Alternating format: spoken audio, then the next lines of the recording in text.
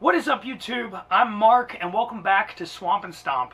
So in today's video we're going to be showing you the second half of our scouting trip to Kentucky. Um, and this was a, just an awesome trip because we got to really learn like this new habitat that we don't usually hunt. And we're actually going to be heading up to Kentucky for a week-long hunt in just a few days. So we're super excited to be getting a lot of content to put out for you guys while we're there. And in case you guys haven't seen it yet, just a couple days ago, Danny smashed a stud eight point uh, down here in South Florida. We were super stoked about it. If you haven't seen that video yet, you can watch it right up here. The real reason that I'm sitting here in front of the camera while I'm editing the video that you're about to watch is because I have an important announcement. We recently joined forces with Aero Hunter Saddles. So in the future, once we get our new saddles, you're going to be seeing us hunting out of those. And because we appreciate all the support that you guys give us, we want to give you one of their saddles. So in our upcoming giveaway, our quarterly giveaway, that's what we'll be giving away. So if you want to make sure that you can get in on that giveaway, make sure that you're subscribed to the channel. Um, and we'll be putting up a video pretty soon about all the details of how you can enter that giveaway you can join our Patreon page. And at the end of the video, I'll give more information about that. But that's going to get you a whole bunch of extra entries that will increase your chances to win this saddle.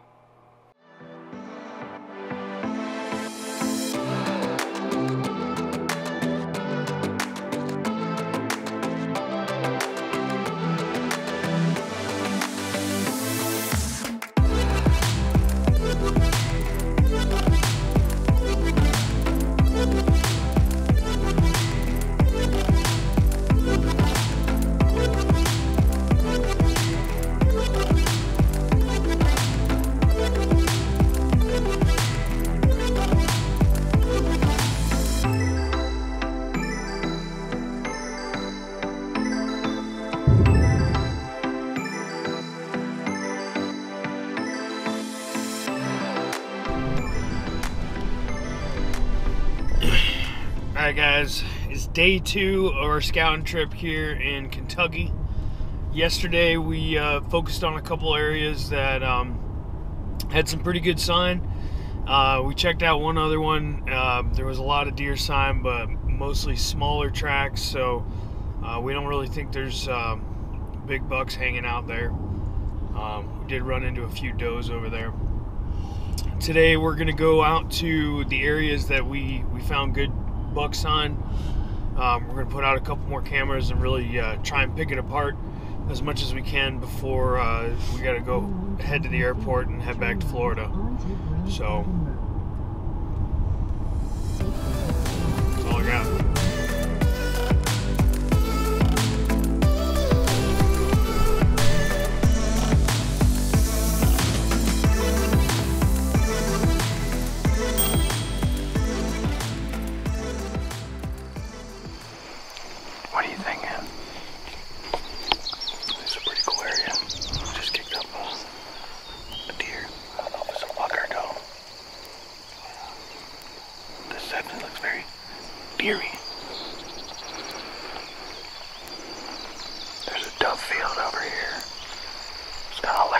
So there's not really any deer tracks inside of it.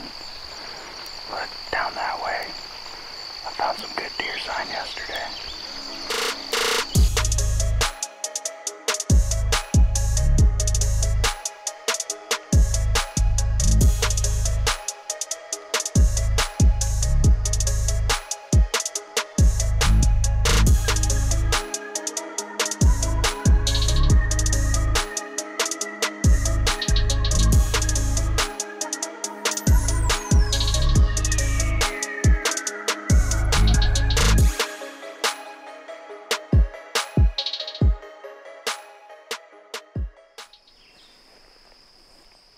Ooh, ooh, ooh, ooh, ooh.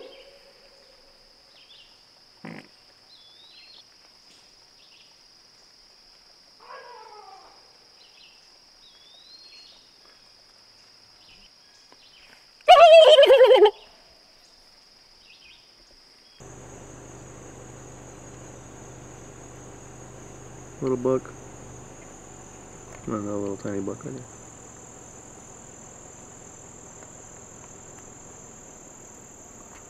Big ass.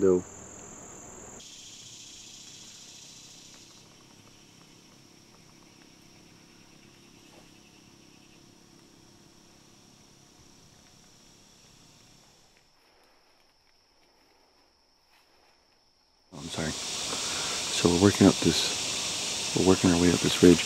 And two years ago when I hunted here, this is where we hunted. Um, I was actually hunting at the very top of the ridge and I was able to shoot a deer. But it was my first deer I ever lost with my with my bow, my first out-of-state hunt. So it's kind of like a redemption trip. But anyway, besides the point. um, it's a really cool habitat. You guys can see, kind of look around. It's really, really neat. It's kind of different from everything else that we've been poking around in. Yeah, it's really easy to move around in here. So, So, as we were coming up, we actually were pretty sure we saw a deer, but all we could see was just the tail flickering. yeah, we saw as the brown was moving through. So they definitely seem to move through this area, and, uh, and there's it seems like there's plenty of browse, but I haven't spotted like you know I can't see where they've been eating it. But I'm sure if we keep moving through here, we'll find an area that they're using. Yeah, so we'll try to show you guys uh, what we find on top of the ridge here. So we walked back into this this ridge. Danny shot that buck back here, um, or at least after he shot it, it ran back in this area. But you could tell on this pretty, you can see the trail behind me. It's a pretty well beaten path, and um, there's a lot of good old rubs right here. A Bunch of rubs. So we're gonna throw up one of our cell cameras here and uh, Danny is about to use his DRT climbing method so we can put the camera a little higher up the tree just so that uh, people can't take it. Oh, Pretty much, but I want to be closer. this uh, this method still needs some practice. Oh, so close, so close. To the tree. How many tries is it going to take? Comment below how many you think it's going to take. Oh, you want to climb that branch?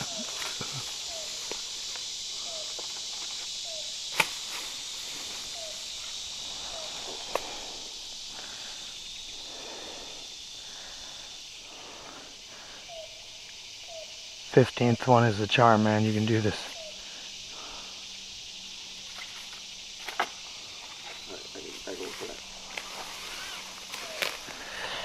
He says it's good. The airport has wheelchairs, just in case that branch doesn't hold you.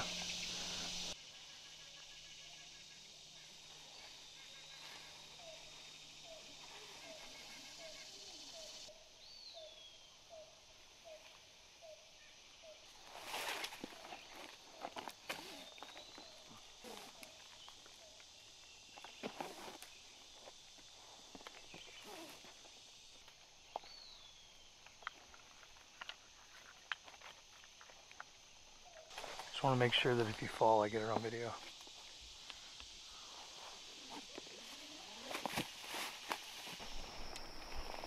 Yo, Danny. Danny. Danny. Danny. Danny left me. He said he was just going to check one of the cameras so we can mark it on the map. He's gone. I've been alone out here for hours. I don't know what to do. So we're scaling up this hill. We found a uh, typical Arnold Schwarzenegger versus Alien or Predator, the Predator movie trap. See that? It's uh, being held up right there. You walk underneath it. There's a tripwire. It's a little bit of a thick one. That thing right there. Once you hit that, boom. Swings down and knocks you 1,000 feet down.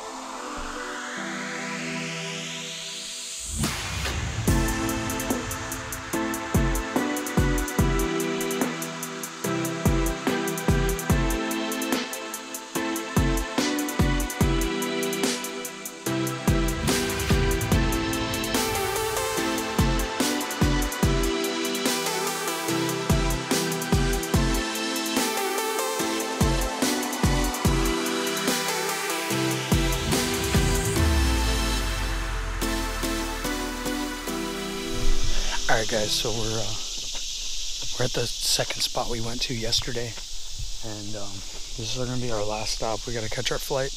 We got to leave here in um, honestly like two two and a half hours or so. So we're gonna run back.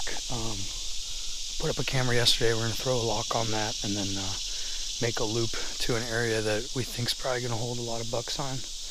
And we have three more cameras to put out, so we're just gonna put a bunch of cameras in this spot because honestly, there, there's just been a lot of sign. Like I think there's a lot of bucks here, so we're gonna just try and get as much information as we can and and then just get giddy for the next month while we uh, get pictures on our, our uh, cell cameras. So.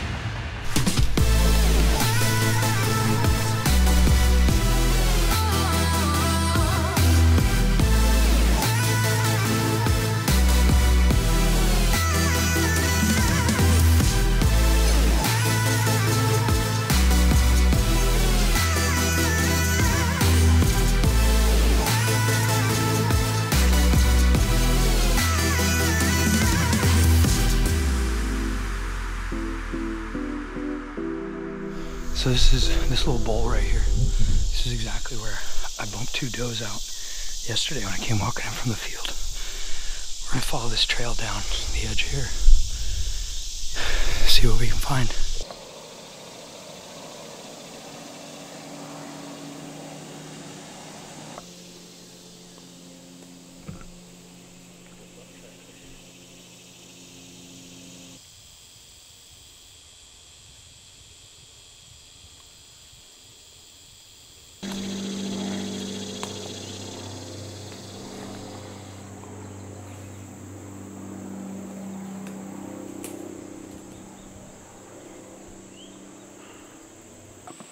Guys, we just found marshmallows. They're the jumbo marshmallows. Apparently those uh, are from Kentucky. There's another one right there. They grow all over the place here. Oh, my stomach's growling from how yummy they look. So, we just got off this uh, little ridge up here, and this is where we found the marshmallow plant. Um, we got a bunch of tracks cut across this little creek, so we're going to go ahead and set up the camera. Try to see if uh, what's crossing here and if it's worth entertaining. There's a lot of really good trees in this area to climb, and uh, you can, if you get up high, you'll be able to see them coming off the ridge and be really ready for them. Really cool, diverse type area. And yeah, I'll show you. So that's the the ridge up there. Then you got this creek rolling through.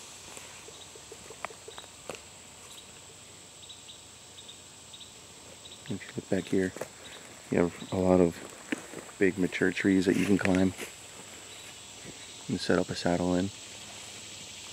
And it looks like the deers are actually traveling through here, through this little opening and going back in there. The creek continues out that way. And if you get hungry, you can just come down and eat some marshmallows. That's a perk.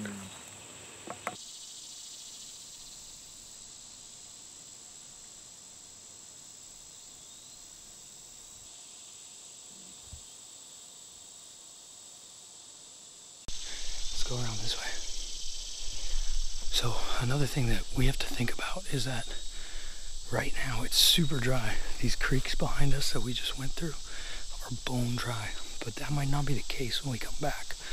And so like right behind me here, it's like a really nice potential bedding area that's right next to the creek. And there's a good browsing area back there. So if that creek gets water in it, there's a good chance that bucks might bed right behind me. So I'm trying to remember these things so when we come back and things change a bit, we can react accordingly.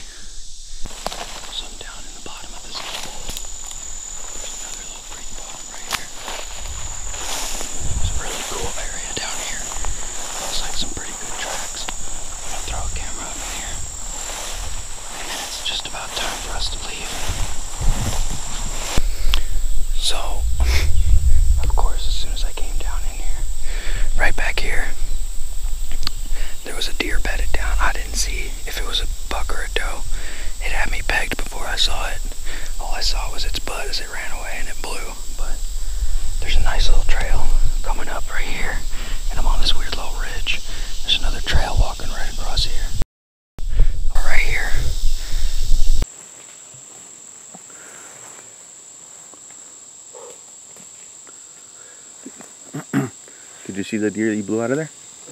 What? Did you see the deer that you blew out of there? Yeah. Yeah, I saw it from uh, this far away. Was it a buck or a doe? I don't know. I just saw its ass. It was bedded, like right there. I walked up. I walked up on uh, there's like a little creek bottom right down there. And there's like a weird ridge going across it. Maybe maybe it's part of this wall that we've been seeing. It might be, I don't know, but it's like it's almost like a dam. Like the creek's like this. The creek's actually like redirected around the dam. Anyway, I walked up on the dam and there's like a trail coming over. and That trail going right across the dam. It's a nice little intersection. I was looking down in there, I got on video, I'm like, it looks like great bedding down there. And then like turn off my camera, take one more step, and then I just hear and I look and I just see this butt bouncing out of there. It's like 20 yards from me. And then uh, it ran out that way and started blowing. So I put the camera right on the little crossing. It's kind of cool down there. Camera's on one of those trees with the crazy spikes. Oh shit. Figured that way if anybody wants it, they're gonna have to fight for it. Cool. Yeah.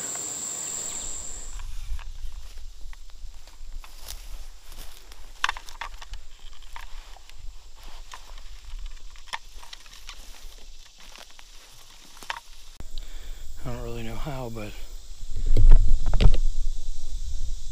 we went up that. Now I gotta figure out my way back down it.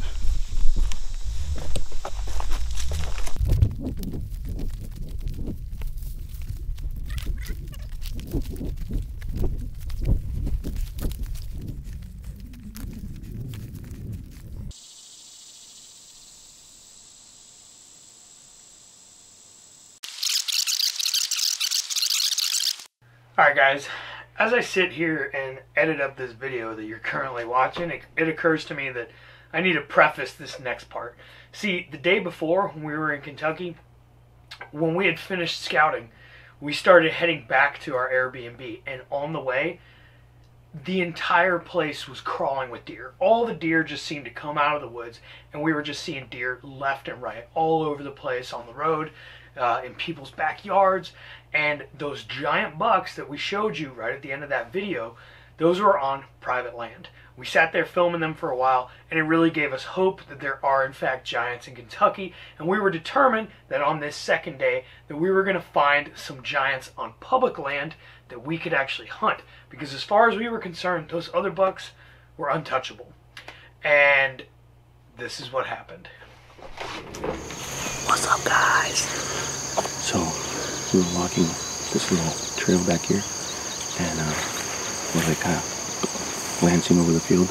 We just came across these two monster bucks.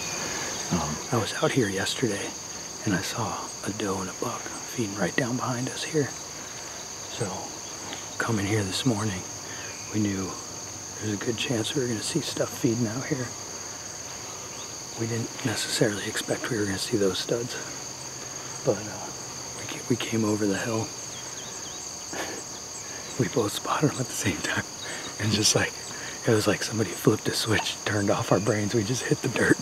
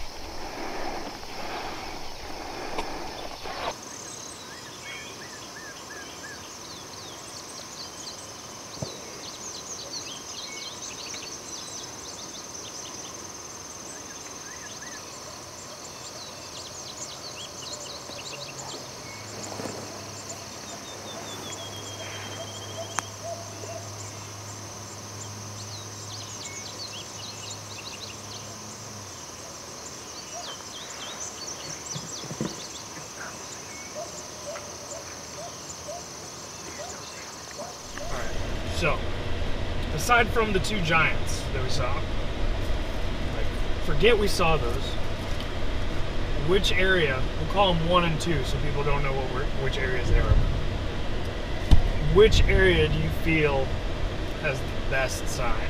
Like, if you hadn't seen those bucks, which area would you go to? I think we gotta go that way. Is it? I mean, should look at the map. We should probably find out, yeah. All right, guys, thanks for checking out another one of our scouting videos. If you haven't seen last week's video yet, uh, in that one we put up the first half of the scouting trip. This one was the second half, so uh, before, oh, I guess you've already watched it because this is the end. All right, guys, thank you for watching this video. I hope you guys enjoyed it. And uh, this is probably our last scouting trip before we actually get to hunt. Next week, I'll be hunting. So if you guys haven't subscribed yet, make sure that you do that now so you can check out all of our hunting adventures.